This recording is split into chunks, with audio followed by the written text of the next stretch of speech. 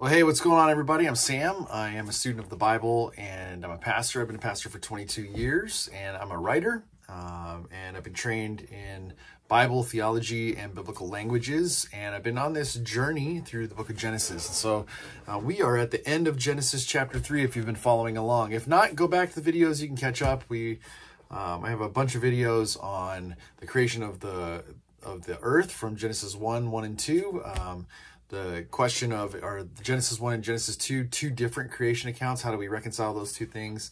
Um, and then uh, the end of Genesis 2 about the creation of woman. Was woman created as a servant of the man or were they created more as equal partners? Um, and then uh, yesterday I just did a video on Genesis 3 and the beginning of that where mankind falls um, and makes a decision uh, to sin, to go against God because they're duped by the snake. Um, and so we are at the end of chapter three, um, and so we've just at the man and his uh, wife, the the Ish and the Isha is what they're called in the Hebrew Bible. Um, they uh, just have taken a bite of the the fruit and they realize that oh my goodness, we're in trouble here. We've got a problem going on, and so they realize they're naked um, and they run and they hide. Uh, they thought that this fruit was going to give them wisdom to be able to understand the difference between good and evil and give them knowledge and all this. And what they realized was quickly that it didn't give them just that, but it brought the entire weight of the understanding and, and recognizing of evil on them. And so instead of wisdom and all this kind of stuff, what they felt was fear. They felt shame. They felt, um, I mean, just imagine having a world where everything is just blissful and then like all of a sudden the entirety of evil just downloaded to you. Like the, the they didn't know what to do with it because they they weren't they weren't meant to handle that. Um, and so now they are trying to trying to handle all this and so they run and they hide because they're naked and they're afraid. So the rest of the text starts out with that being like the the background of it and um, all of a sudden God comes down and, and I think it's what's fascinating in Genesis 2 through 4 is God is very anthropomorphized. He's very um, has very human characteristics about uh, about him. So um, he's walking in the garden. Um, and it says this, they heard the sound of the Lord God moving about in the garden at the breezy time of day, probably like dusk around that time. Uh, the man and his wife hid from the Lord God among the trees of the garden. The Lord God called out to the man and said to him, Where are you? Um, I'm reading from the uh, the Tanakh, um, so we can kind of pick up some of the Hebrew um, kind of nuances here. Um, he replied, I heard the sound of you in the garden. I was afraid because I was naked, so I hid. Then God asked them, Who told you that you were naked? Did you eat from the tree which I had forbidden you to eat? Now, here's here's something fascinating. I think this is why um, a lot of scholars are going, uh, man, the, di- the documentary hypothesis really kind of starts to make sense because um, in Genesis chapter 2, 3, and 4, God uh, is portrayed in a very weird way. He's very anthropomorphized, very human like characteristics.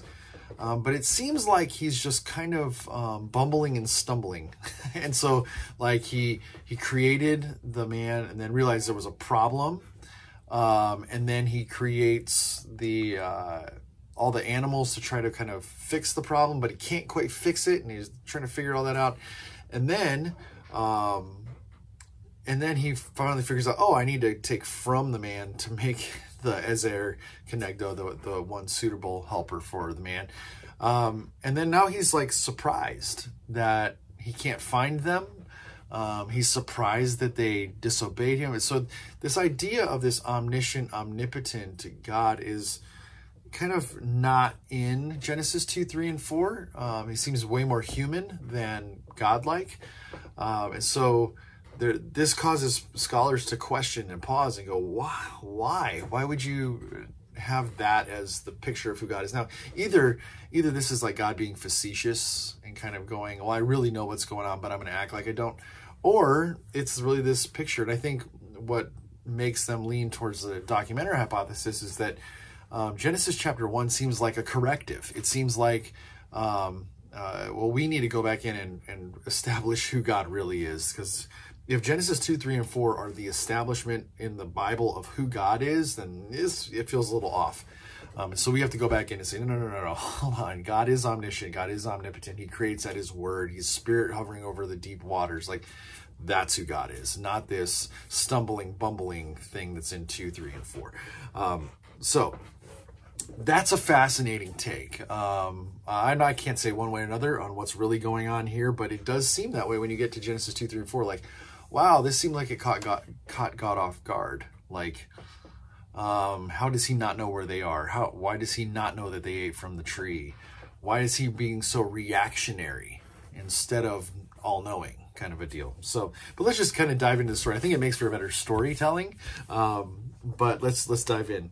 He says, "So who told you you were naked? Right? Like, uh, did you eat from that tree?" The man said, "The woman that you put at my side, she gave me of the tree, and I ate." Now we learned in our last video that um, the man and the woman that each and each are sitting like right next to each other at the tree. The serpent is deceiving both of them.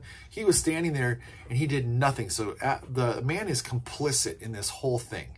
Like, there's no way he's going to point the blame at the woman, but he does. He says, The woman that you gave me, you put at my side, that was her fault. And so God kind of plays along and he says to the woman, He says, uh, What is this you have done?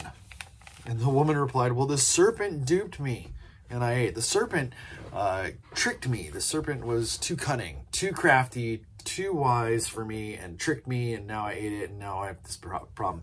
So then the God said, then God said to the serpent after this, because you did this, here's it. And then they have these three um, levels of curses the curse on the serpent, curse on the woman, and curse on the man. And so the question that I want to dive into with these curses is, okay, so what's going on with these? Especially like when you look at the curse for um, the snake, like why that is that the curse? We're going to get into it. It's going to be fascinating. Okay, so here's the curse. The curse is because you did this, more cursed shall you be than all cattle and all the wild beasts.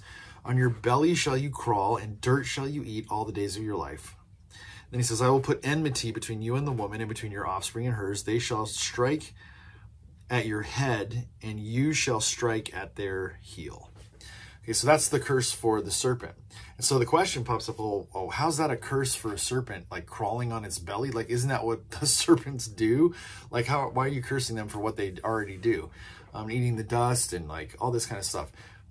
Well, here's the deal. We uh, we have to understand the nuance of what's going on at the beginning of this whole section to understand why this is the curse. Okay, so there's some wordplay going on here, especially in the Hebrew Bible. Now, in the NIV Bible that I like to read from in English, um, the, the wordplay is kind of there. It, it tries to be there.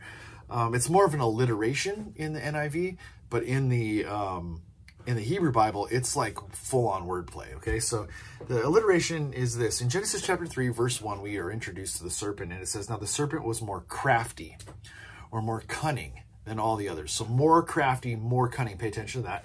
And then in uh, chapter 3, verse 14, when the curse happens, it says, um, because you've done this, more cursed are you above all livestock and wild animals. So the serpent moves from um, more crafty among all the livestock and wild animals to more cursed. Okay, so I kind of get that. There's like this little alliteration thing going on. in, um, in the NIV Bible. They're really trying to kind of connect to the literature and the literary devices that are being used. But in the Hebrew Bible, it's even better.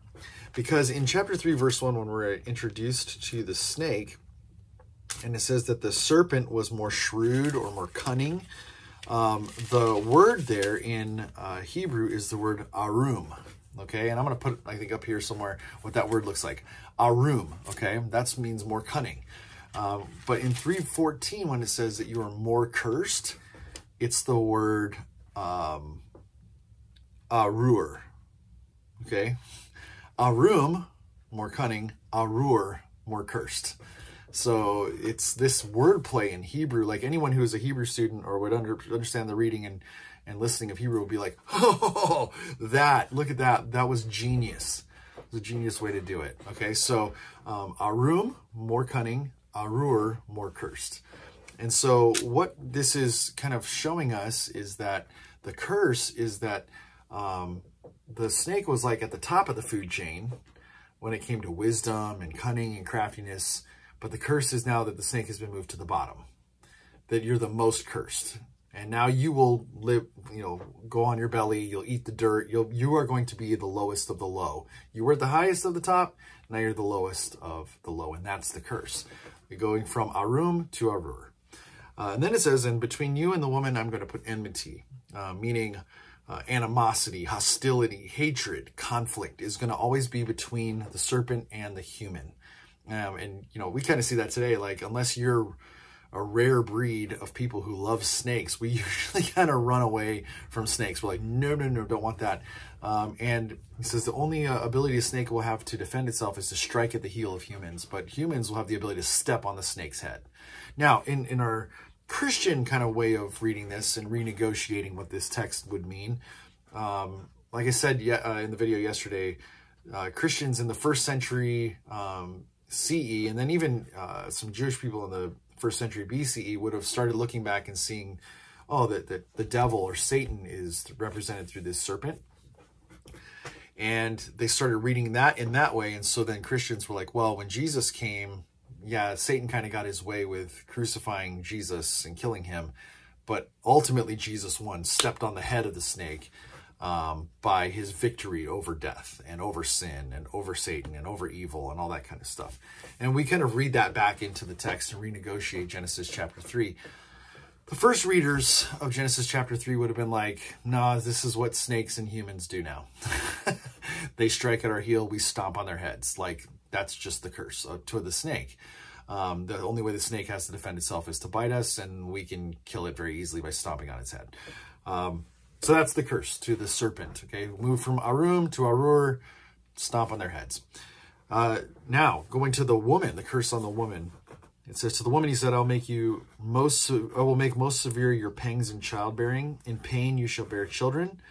Um, so it likely was the fact that maybe there wouldn't have been pain or that much pain in childbearing, uh, maybe a little bit. Um, but we wouldn't know what it was like before because it isn't recorded before. Um, it's just recorded here, and then you know they have children later. Um, and this, uh, you know, scholars would say this is probably trying to like uh, prescribe or describe something. Um, this curse describes why women have so much pain in childbearing. And it's like, well, it's because you ate the fruit and you you sin this way. Um, but this is what this curse talks about. And then the second part of it is fascinating it says, Yet your urge shall be for your husband, and he shall rule over you.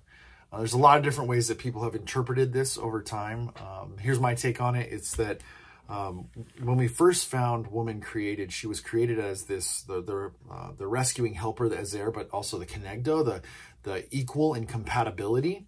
And there was this equality thing that was going on between Ish and Isha, one you know togetherness, oneness, the completion of the image of God. But sin screws up stuff and sin messes up relationships really bad. And so um, there's this fighting now for control and for power and who's dominating who and who's ruling who. And so the the woman's going to want to be the dominant one, but the man is given the position of ruler over her now. And and so instead of being side by side equals, they're now going to be in this hierarchy system and ruling over one another and mad at it and you know, angry about it, kind of a deal. And it just is a messed up relational world now where it could have been equal. And uh, when we get to um, Jesus and the cross, when he takes care of this sin issue, the sin problem, what we see Paul writing about in, Genesis, in uh, Galatians 3 is that because of Christ, we can reset that relational boundaries between people. So no longer male nor female. We're all one in Christ. And that's the way it should have been. That's the way it was always meant to be. We weren't meant to be in this like domineering who's going to be ruling who relationship thing. We were always meant to be in compatibility and equality together. So in Christ, we can be that. So maybe through Christ, we can reset some of what Eden was trying to be about in those relational worlds. But because of sin, we are in this dominate each other kind of a thing. And it's a part of the curse. Uh, then to Adam, to the man, he said, Because you did as your wife said and ate of the tree about which I commanded you, wink, wink, you were there. You were complicit, dude. Um, you sh uh, Curse shall be the ground because of you. By toil shall you eat of it all the days of your life. Thorns and thistles shall it sprout for you. but your food shall be the grasses of the field. By the sweat of your brow shall you uh, get bread to eat until you return to the ground, for from it you were taken. For dust you are, and to dust you shall return. The basis of this curse is you are cursed from Eden.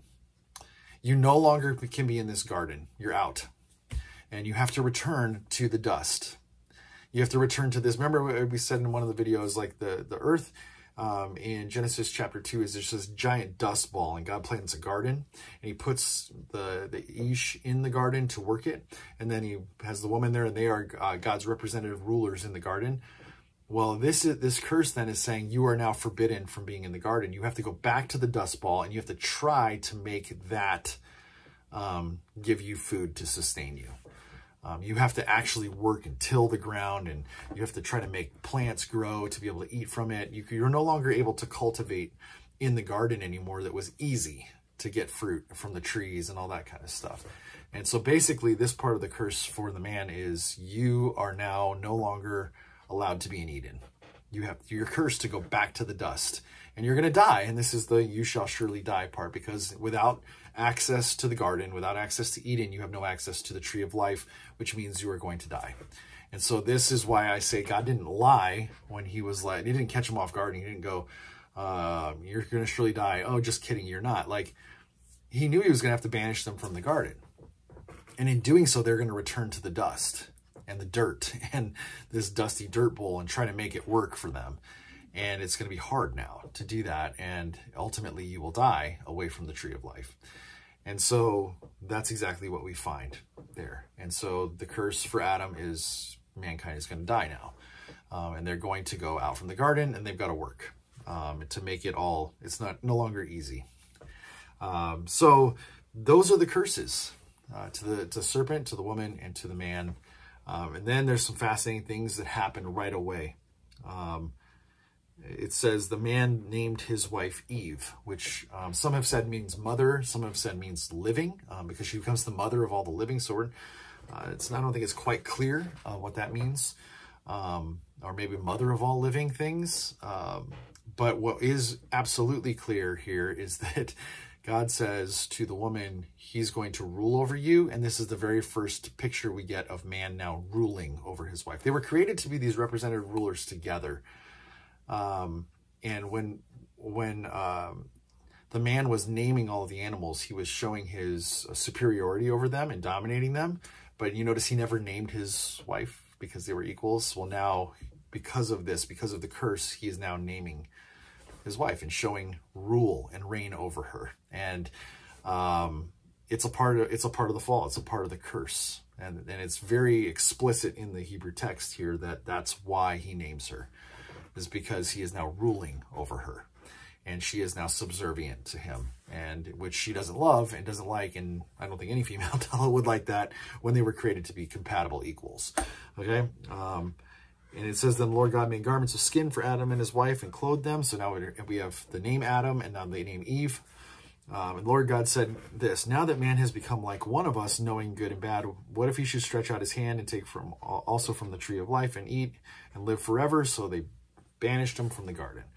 Um, and they have this cherubim with fiery swords and all kinds of stuff guarding the, the garden. And we are done with the Garden of Eden story. And now they are now out in the dust ball, working, trying to eat from the things that they're producing. The animals are now out with them.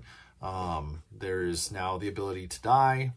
And now they are going to produce children and start living this life existence that we have now. So that's the end of Genesis chapter three, and um, it's a very it's a very sad thing um, if you read through it because you're like, wow, these curses are, um, you know, what what could have been if we wouldn't have done that. But uh, here's the deal: it's it's the the um, the lot of every human being that we all come to, right? We all look at this and go, man, every one of us has this sin problem, and this is the Pandora's box that we can use to explain how that all happened and why things are kind of set up the way they are. And it actually sets up chapter four when some tragedy begins to strike over and over and over again. And then we're going to get to see chapter five, which seems like a boom reset of Genesis, of the whole thing. So we'll get there in the next video.